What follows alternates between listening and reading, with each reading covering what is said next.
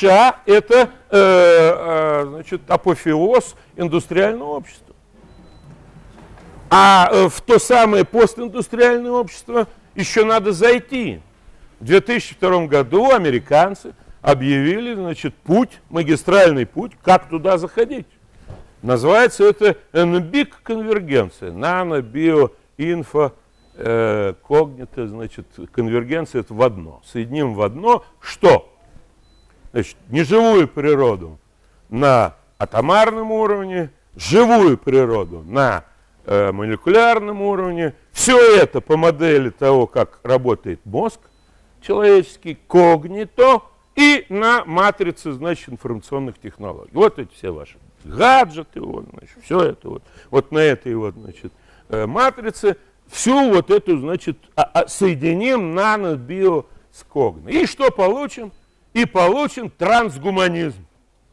Так прямо называется трансгуманизм. Мы с вами еще в гуманизме живем, еще тут какие-то человеческие чувства есть, значит, что-то такое, значит, душа какая-то. Вот. А трансгуманизм это сверхчеловеческое. Это то, что за границей человека, который должен вот этим, собственно говоря, значит, эти скрепы этого индустриального общества поломать. И этот, и этот ледокол это китайцы. Почему? Потому что они вообще не из этой цивилизации, в которой живут вот те, которые индустриальное общество придумали. Это библейская цивилизация, она там, значит, где-то там Вавилон, дальше там Египет, Рим, Греция, там, Мека, в конце концов. Вот. А э, китайцы, а это совсем другая цивилизация. Они э, смотрят на э, значит, э, библейскую цивилизацию, как на окраину. Сами они живут в центре, у них так и называется.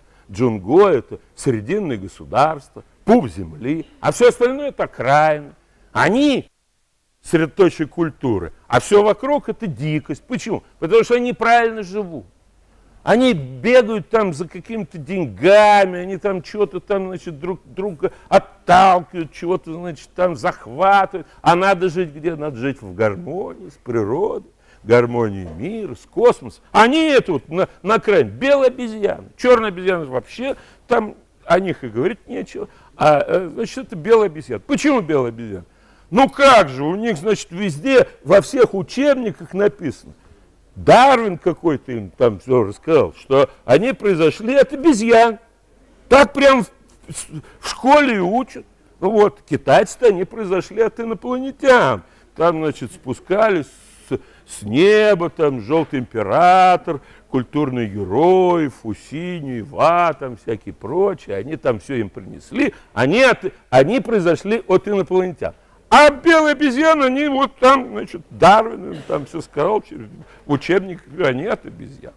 Вот поэтому они дикость, дикость, они не знают, что такое, э, э, значит, гармония, э, гармония мира. Ну вот, значит, и э, тут, э, а они живут, китайцы, они знают циклы. А что такое космос? Космос это не прогресс, это не от начала до конца. Космос это вращательные движения. Что в космосе там? Орбиты, да, что там в космосе? Траектории. Там нет прямых линий. Вот, поэтому э, в космосе э, гармония. А на Земле вот, э, борьба противоположностей. Маркс, все, там, Гегель, все, борьба противоположностей. Там что еще? Добро и зло. Вот добро со злом. Значит, у китайцев это этика добра и зла. Она откуда взялась там? Ну, вот ее там, значит, какие-то, значит, религии, значит, э, вытащили эту. А у китайцев нет этой этики добра и зла, нету. Они живут в этике, в конфуцианской этике. Конфуцианская этика – это этика семьи. А в семье там нет добра и зла. В семье есть старшие и младшие. В семье есть дедушки, бабушки, братья и сестры. Вот этой, в, эти, в этой этике они и живут.